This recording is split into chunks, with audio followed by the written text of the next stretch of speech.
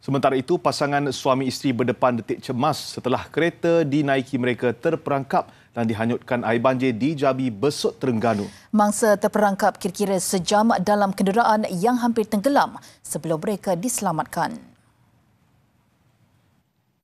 Kejadian berlaku petang semalam di Kongsi Adun Jabi. Dr. Azman Ibrahim yang meninjau lokasi kejadian. Kenderaan mangsa dihanyutkan arus ketika melalui jalan yang dinaiki air banjir di Kampung Renek.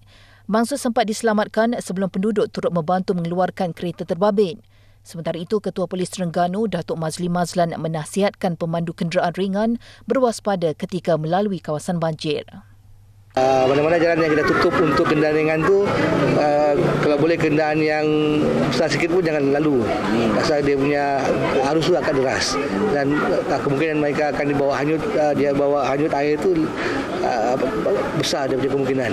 Jadi kita nasihatkan mereka patuhi keadaan dan kalau tengok tempat tu dikenangi air janganlah lalu